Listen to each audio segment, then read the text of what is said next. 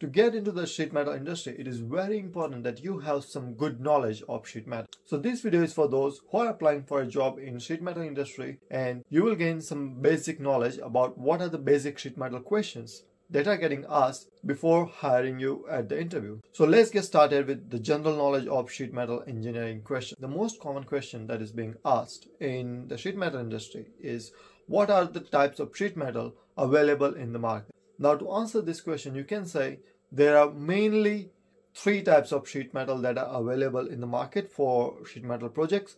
One, stainless steel, two, mild steel, and three, aluminium. Sometimes we can use copper or bronze depending on the use of the metal or depending on the customer's requirement.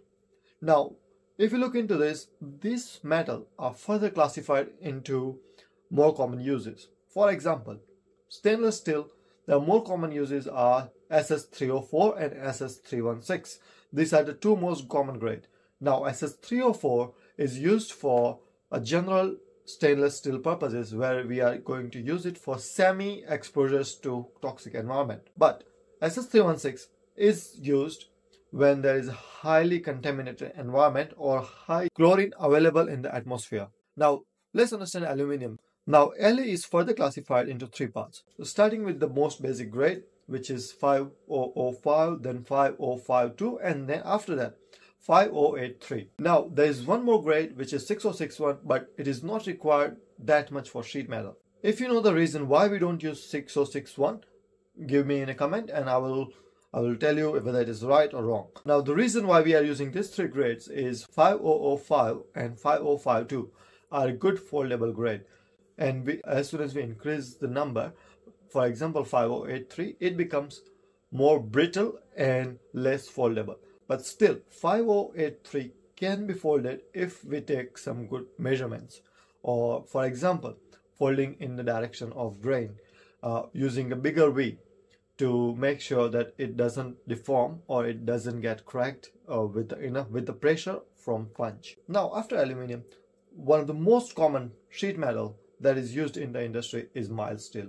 Now mild steel has lots of different type depending on the use.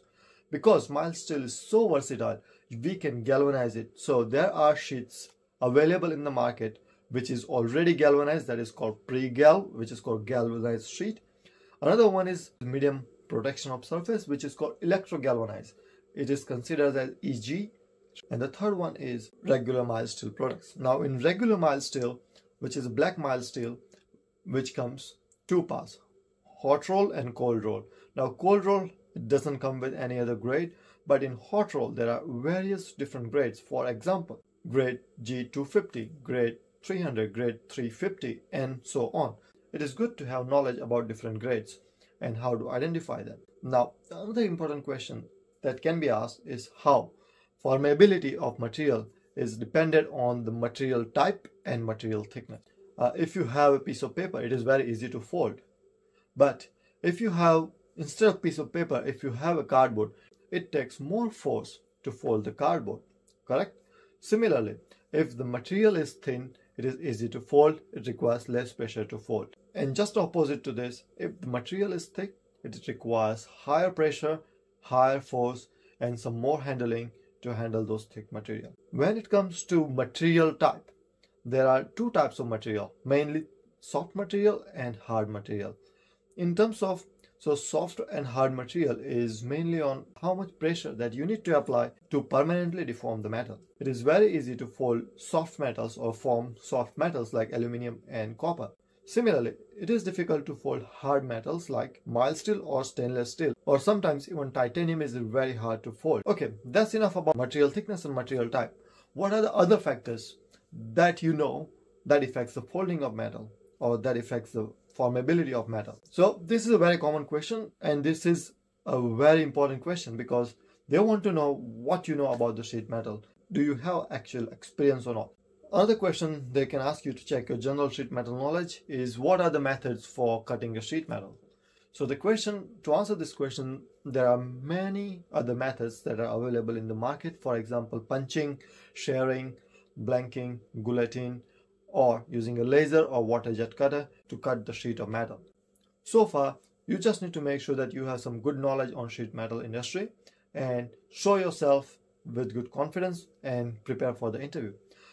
If you like this video, you can check out my other videos which, which will really help you to get some good interview advices on sheet metal industry. Some knowledge is only industry experts related, but you will find all those knowledge explained in a very simple way into my other videos. Thank you very much for watching guys. Please like, share and subscribe. I really appreciate your support.